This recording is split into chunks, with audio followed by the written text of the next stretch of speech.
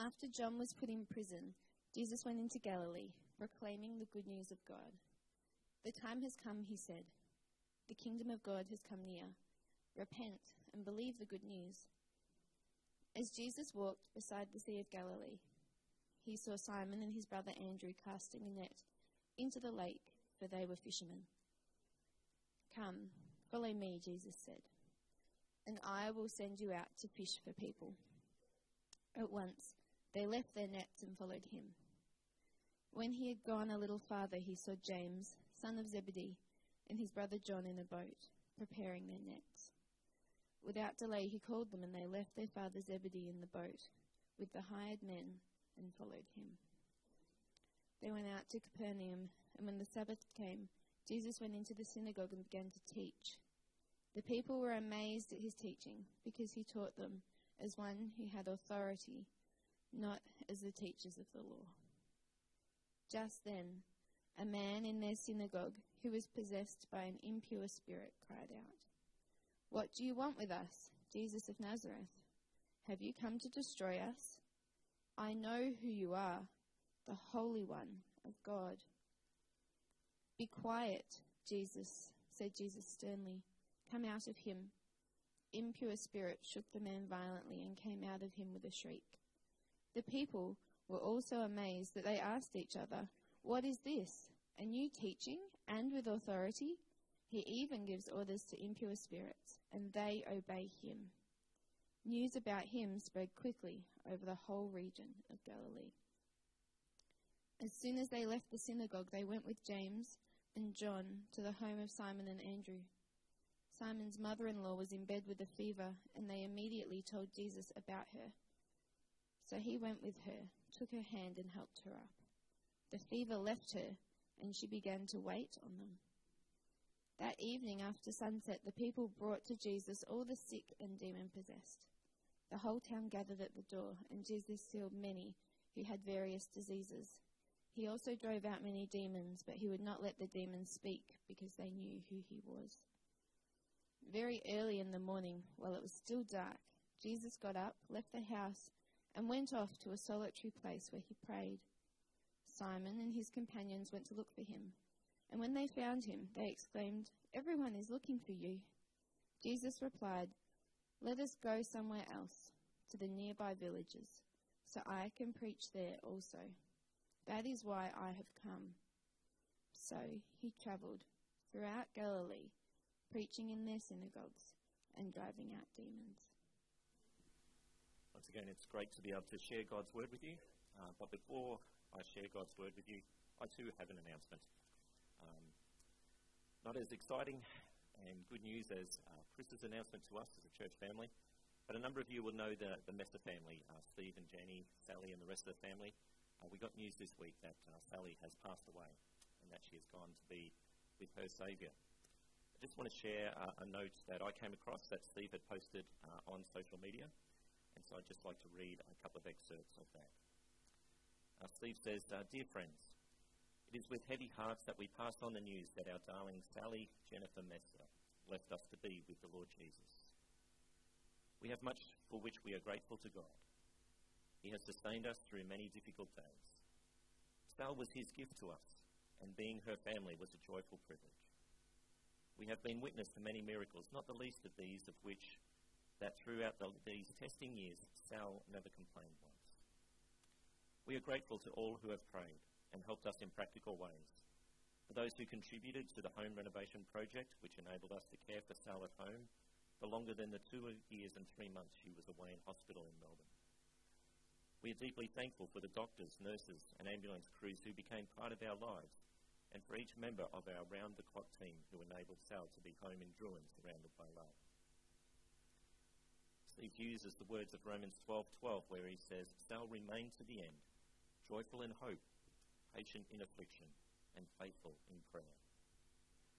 We are comforted by God's words from heaven in Revelation 14:13.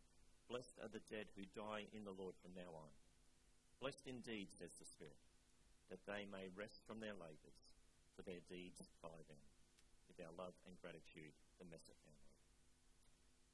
I'll pray in a moment for, uh, for the Messer family on your behalf. uh, but uh, Sally's funeral will be uh, this Friday at uh, 2 o'clock here at the church. Uh, if you're able to assist with that, your help would be greatly appreciated. Um, Anne is coordinating all the catering. So even if you can't attend on today, I'm sure Anne would love for you to pass on some cooking, baking, whatever you can contribute in that way. But if you can help on the day, that would be greatly appreciated as well. So uh, before we turn to God's Word, uh, let's again lift up our hearts in prayer and lift the Messers up before our God.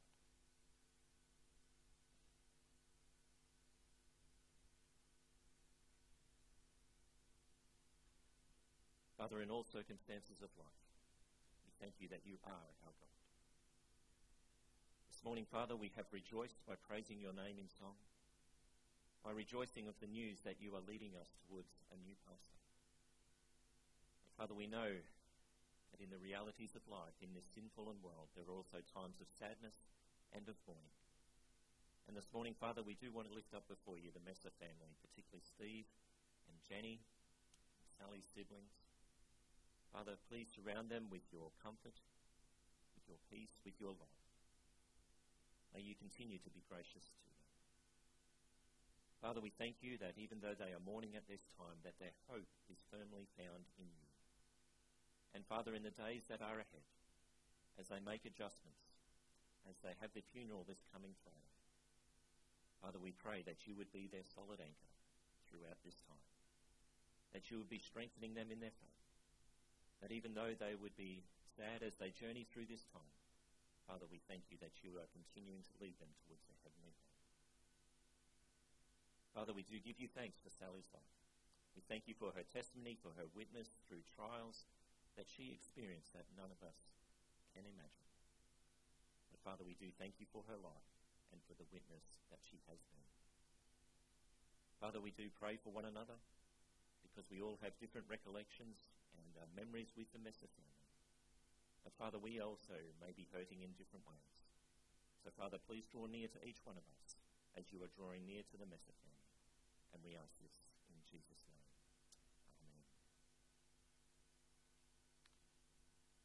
Well, if you would uh, take your Bibles and turn back to the passage that uh, Michelle read to us this morning, we're going to be looking at, uh, as a follow on to last week to uh, Mark's Gospel. And this morning, I want the, you to think about, as I challenged you last week, is to think about your response to Jesus. We all respond in different ways to different items of news. We've seen the reactions this morning. And maybe this morning you're troubled by the news that I've just given you about Sally's passing. But maybe you're thinking also at the same time, well, I'm rejoicing in the news that Chris has given us because potentially, depending on you, we get a new pastor. But we all respond differently, don't we? Uh, for us in our lives, and uh, I like to play golf along with my sons, but Danielle thinks that golf is a walk that is spoiled. And, and so she doesn't not that keen on golf. Uh, the same when it comes to air shows. I get all excited when there's air shows, standing there watching planes zoom around the skies, Danielle just goes, no, that's not for me. But we respond to those events in different ways, don't we? And, and particularly when you have events in your life that are events of great news and great joy, uh, what do you feel within inside yourself? Yes, you've got that excitement, but you want to go and tell, don't you? Or at least I hope you do. I trust that that is the case when we have good news, whether it be about engagements or upcoming births or, or celebrations that were within families. But even as we know within our lives that their reactions do differ as we look at different events, and particularly this morning as we look at Jesus starting his ministry, we see people responding in different ways. And so as we look at their responses, I want you this morning to think about your response to Jesus and how you will continue to follow him in the days that are ahead. Well, in verse 14, we read there that John was put in prison at a certain point in time and it was at this time that now Jesus comes onto the scene and commences his ministry. As we looked at uh, last week, in verses 14 and 15, Jesus uh, clearly says that the time has come, the kingdom of God is near, repent and believe the good news. We've done repenting this morning, haven't we, as we've met around the Lord's table? We've once again been reminded of what our Saviour has done for us by Him dying on the cross him forgiving our sins and bringing us into that right relationship with God. And I trust that each one of you this morning can say that you have repented and believed. But as we move forward in our passage this morning, look as we go into verse 16, we see about Jesus' ministry, and there's uh, four things I want you to see about Jesus' ministry, firstly, before we look at the responses. As we see Jesus moving about Galilee and Capernaum, we see that Jesus' ministry is, firstly, it's a personal ministry. Is that he gets alongside people. He, he comes to the disciples, to Simon and his brother Andrew. He comes to James and to John, and he actually commands them, he calls them to follow him. He is interested in individual lives. We see that later in our passage that after the synagogue down uh, a little bit further in verse 29 and 30 is that he enters into the home of Simon and sees there that Simon's mother in law is ill. What does Jesus do? He has compassion. He is personal. He is relational with her, and he goes to her and heals her. And we see that often throughout Jesus' ministry. That there he is, he is interacting with people. Yes, he has the public proclamation and that he is doing that, and we'll look at that in a moment, but he gets alongside people with grace, with compassion, with love. Occasionally, words of uh, correction and rebuke. But Jesus' ministry is a personal ministry. If you go down to verse 35, we see another aspect of Jesus' personal ministry.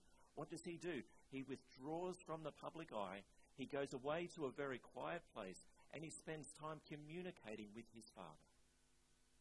And even though Jesus is God, he is the Son of God, he still takes that time to foster, as it were, his personal relationship with his Heavenly Father. Jesus' ministry is a personal ministry. But we also see, secondly, that Jesus' ministry is a public ministry.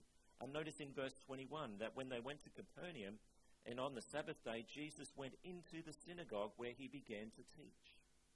The synagogue was where people, where the Jews gathered to hear the reading of God's word and to hear it explained, where they came together to offer prayers. They occasionally went into the temple, but here in the synagogue setting, it was equivalent, if you like, to what we do on a Sunday, where we come together to remind each other, to encourage each other in the grace and the mercy of our God. We also see the public ministry being demonstrated that as Jesus moves about, crowds are coming to him, particularly as they understand that Jesus is this man who is powerful, who brings about healing. The crowds come to him, the people are bringing their sick to him, and he is crowded so much to the point where he says, Let's leave this region and let's go somewhere else. But Jesus indeed has a very public ministry. They come to him and they are healed. The sick, the demon possessed, all come to Jesus, and Jesus heals them in a very public demonstration of his authority. The third thing I want you to see about Jesus' ministry is that it is a purposeful ministry. Notice, as he said in verse 14, the time has come the kingdom of God is near. Repent and believe. You can't have a much clearer message, can you? That this is what Jesus came to do. He came to declare that the kingdom of God is at hand. We see that Jesus, in a very significant way, conducts his ministry. It's not simply what he does for himself, but what he does for us. He brings us again back to the Father. He is the one through whom we come to Jesus, uh, sorry, to God the Father through Him. Jesus has a definite purposeful ministry. Notice there that in verse 38 and 39 uh, that the disciples come to him. Sorry, in verse 36, where Simon and his companions went to look for him. And when they found him, they exclaimed, Everyone is looking for you, Jesus. Look at how the ministry is being established here. Look at how the crowds are coming to you. Jesus, you need to go and to serve them. But what does Jesus do? No, again, reminded of his mission, reminded of the purpose of which he came, he replies in verse 38 Let us go somewhere else to the nearby villages so I can preach there also. That is why I have come. Yes, Jesus is interested in healing people and restoring what sin has affected. But can you see here that Jesus has a, a greater purpose? It is not just to please the whims of the crowd, but to come with a very uh, specific purpose of preaching the good news of the kingdom of God. It is near and it is there with Jesus. That is why I have come.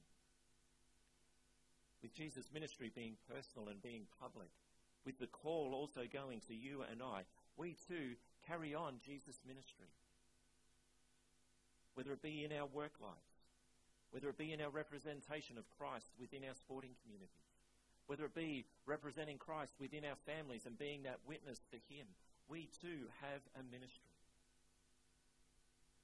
But we can get caught up in the busyness and in the needs of other people. We can just get caught up in all of the activity. And I wonder whether sometimes too, in fact, whether each and every week we too need to be like Jesus, where we withdraw to that quiet place, where we rest, where we commune with God the Father, where we again remind ourselves as to why God has placed us in certain situations, because we too need to be purposeful as we follow Jesus. Now, I'm not very much a morning person. So when it reads very early in the morning when it was still dark, Jesus went, that, that's not me. So in my schedule, I need to find those times where I can sit and where I can reflect and where I can again be reminded of the goodness of God. Because I don't know about you, I need that encouragement being uh, in God's Word and, and, and praying and thinking and reflecting on those things. I need to be a part of a small group of people where they too can have input into my life and to encourage me and spur me on because at times life is difficult, isn't it? I need to be part of a wider church family. And I gain that encouragement by coming each and every Sunday, by mixing amongst you.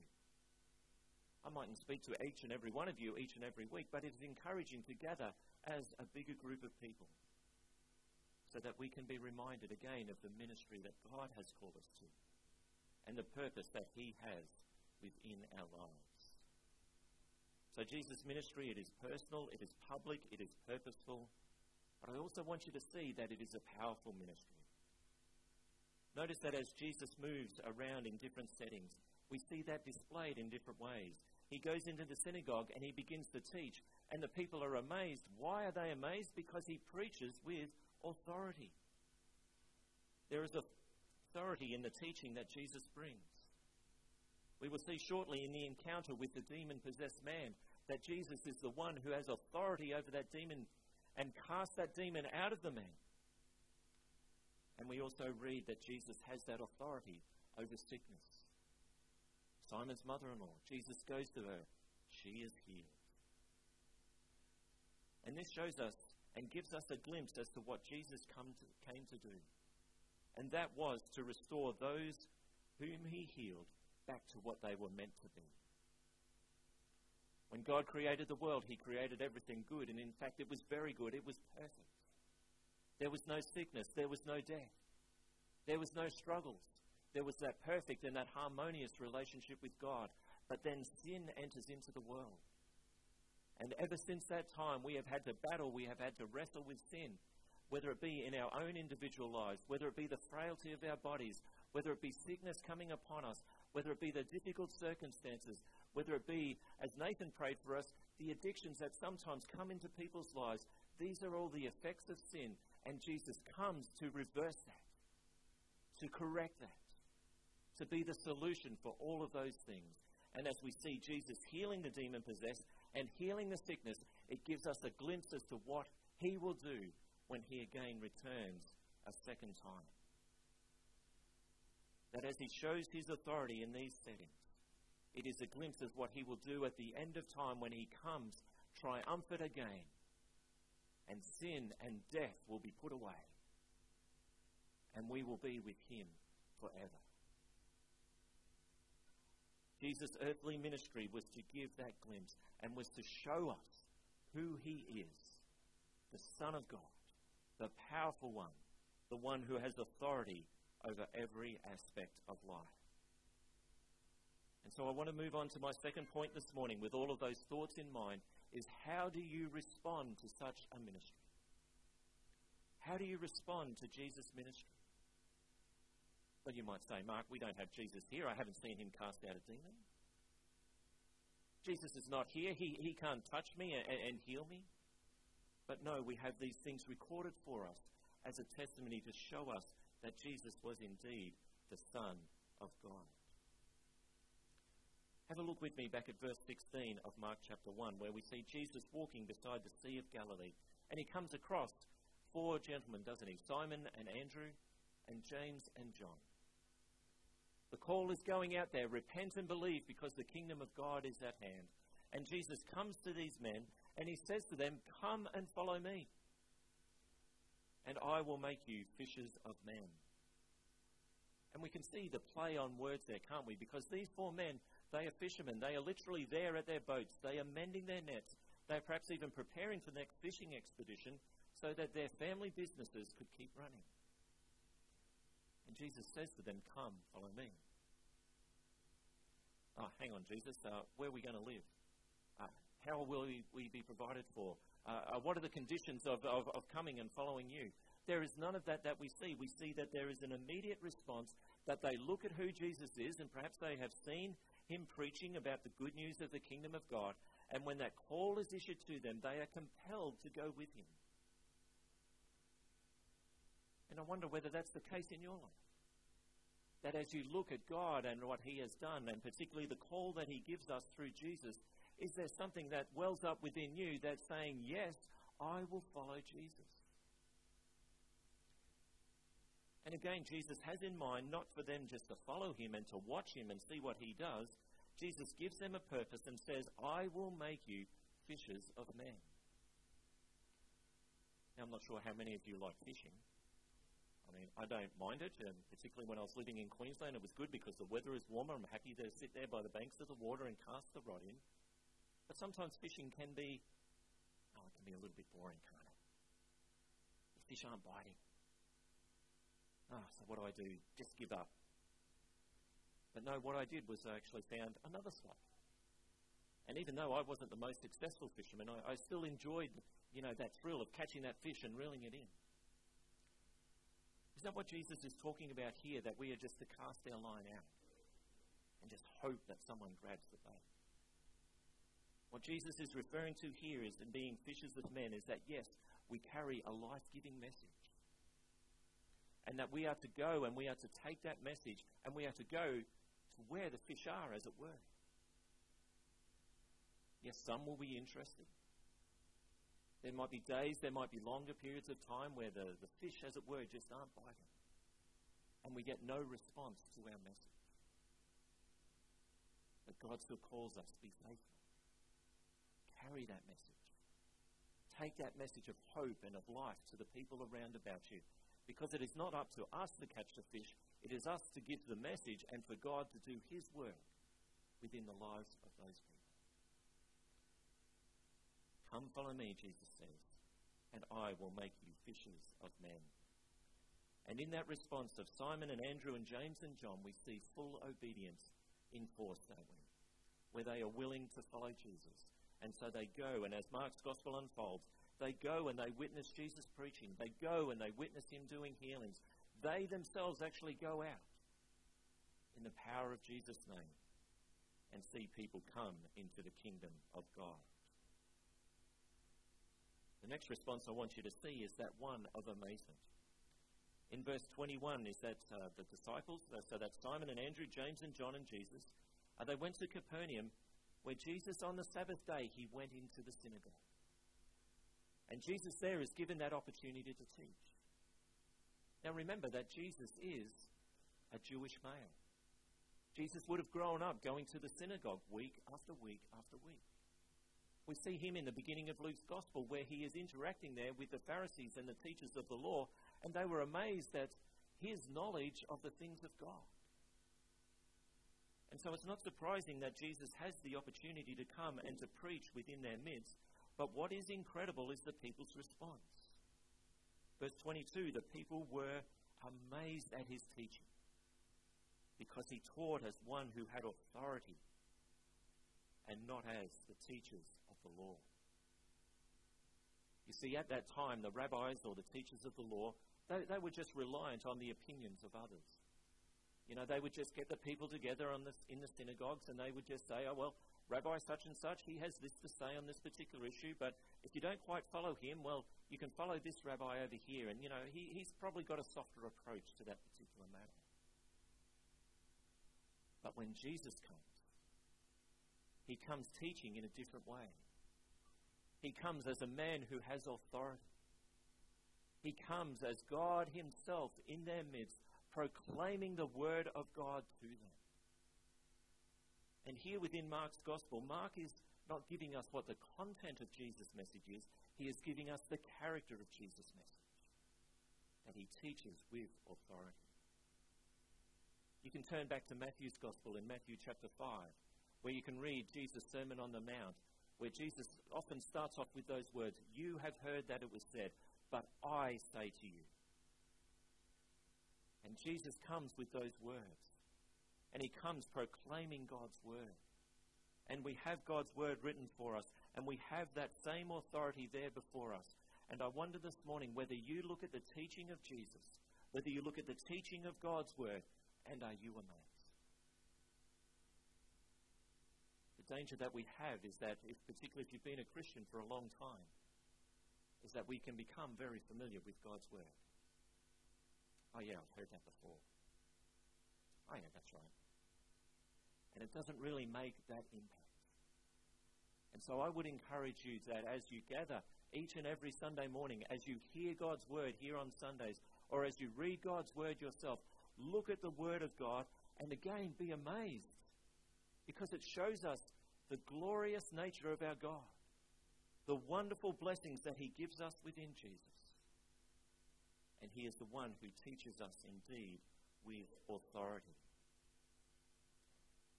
Well, based on that authority within the synagogue, look at what happens next, as we see there in verse 23. Just then, here Jesus is preaching, he is teaching them with authority. Just then, a man in their synagogue who was possessed by an evil spirit cried out, What do you want with us, Jesus of Nazareth? Have you come to destroy us? I know who you are, the Holy One of God. First question of God is how could a demon possessed man be a part of their synagogue for so long without hearing the authoritative word of God? How could that man, and, and I think that we need to take from the text that this man was a regular part of their synagogue gatherings. And there was no authority up until Jesus' coming. And friends, that should firstly remind us as God's people that whoever preaches and stands in this place preaches the Word of God with the authority that God gives them. And I trust this morning that you're not just here to listen to me, my words. You are here to listen to God's words. And that is the responsibility of anybody who stands and who preaches. Not just to give some stories just to oh, entertain or to tickle your ears and things like that but to come and to give the very word of God. And what we see that as this demon possessed man stands up, he stands up in defiance against Jesus. He exclaims within the midst of that synagogue gathering, What do you want with us, Jesus of Nazareth? Can you imagine what is happening at this point in time? That everybody's eyes is turned to that demon possessed man. And they're wondering, What's Jesus going to do next? What's going to happen? Is that man going to just overpower our synagogue meeting here this morning? What is actually going to happen? And as I reflected on it, and certainly not a challenge to any of you, but I wondered what would happen if somebody walked in and interrupted our meeting? How would we handle that circumstance?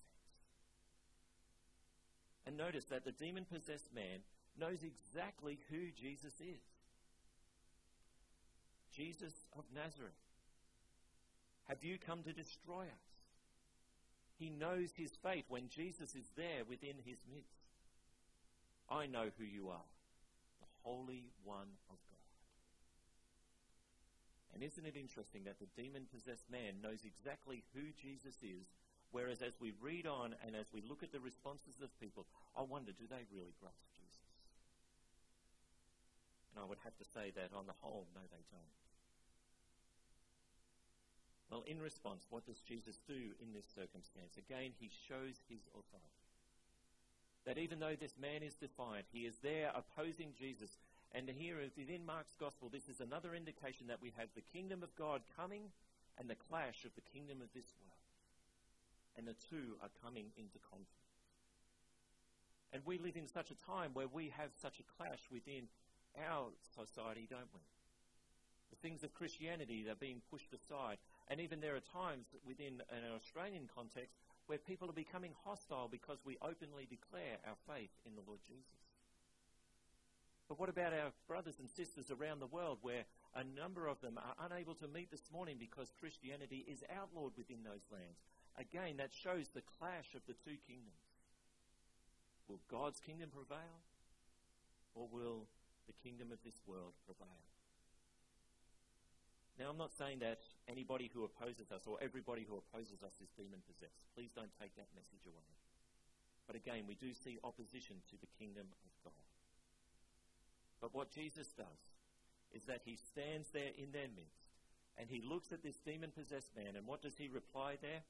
Be quiet, he says. Come out of him. Jesus giving words, only a few short words. And the result is, is that the evil spirit shook the man violently. There he is. The evil spirit doesn't want to give up on that man. I'm in this man, I'm possessing him. But at the words of Jesus, that evil spirit is cast out. And the evil spirit comes out of him with a shriek. And there we see that there is forced obedience. We see in the disciples that they willingly follow Jesus. But here, this evil spirit, what does he do at the sight and at the words of Jesus? He has to submit. And there is coming a time when Jesus will return. There is coming a time when every person who has ever lived on this earth will have to come before Jesus, as it were, on his throne because Jesus is coming to judge. As we read in Philippians chapter 2 and at the end there, we will see that every knee will bow and every tongue will confess that Jesus is Lord to the glory of God the Father at that time when Jesus returns. But this morning, now is your opportunity. Now is your time to say that I will willingly follow Jesus because of who he is and what he has done for us by dying on the cross. Well, the people, they're amazed there in verse 27 that they asked each other, What is this? What have we witnessed this morning? We see this man with this new teaching. He, he teaches with authority, but he even casts out evil spirits. And they go. And what do we read in verse 28? That news about Jesus spread quickly over the whole region of Galilee. They had been witness to something special that day. And as they look at who Jesus is, and as they went and as they reported to people, news spread quickly. And we read that as our passage goes on, don't we? That people were bringing the sick. They were all coming to see Jesus. And I put it to you that they were just wanting to see perhaps the spectacular. Yes, some might have been interested in his authority and in his teaching. But what do we read there in verse 32? Where Mark says, That evening, after sunset. And that's an important phrase, and we might wonder why is Mark emphasizing this? Well, remember, Jesus is in the synagogue on the Sabbath day. And on the Sabbath day, the Pharisees and the teachers of the law said that you can do no work whatsoever, and that included works of healing. That evening after sunset, they were making sure that the Sabbath day had finished, that people brought to Jesus all the sick and the demon possessed. They were wanting Jesus to do the same of what they heard about in that synagogue meeting. They were wanting Jesus to heal their relatives.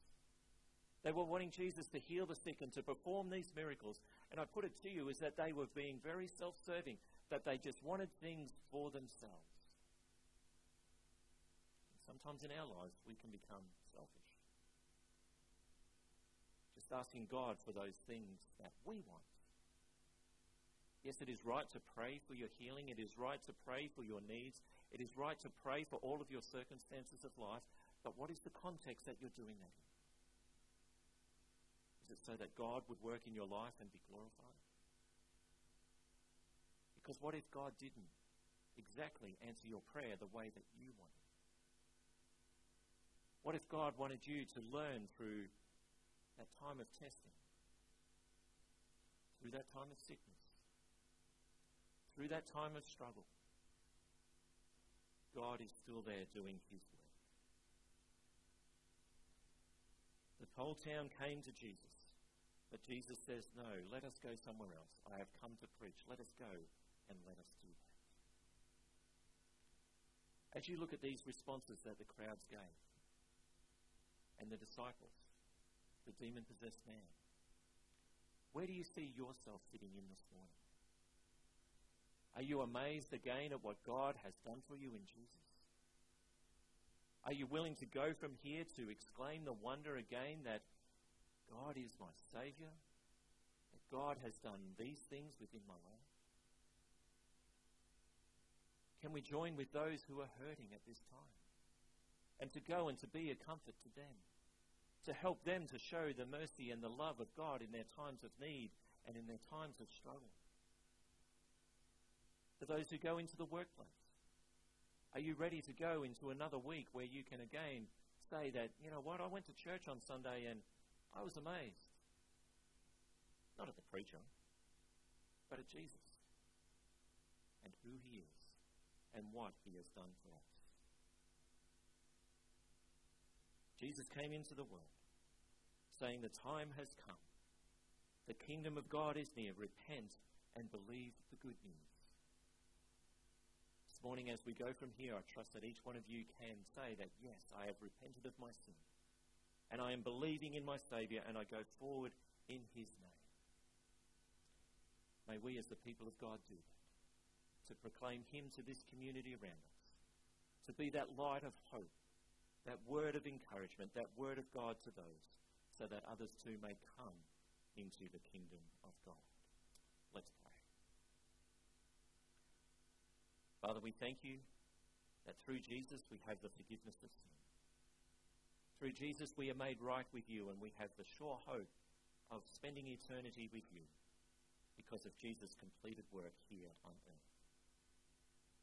Father, we pray that you would go with us in our day to day activities, that we would take those times each day to reflect on your goodness and your mercy, and that we too would be prepared to share the word of hope that you have given to us, so that others too may be able to move from death to life and come to know the realities of Jesus, our Lord and our Saviour. Father, go with us, we pray speak into our lives. Help us to see more of the amazing things that you are doing and you have done. And we do pray this for the glory of your name.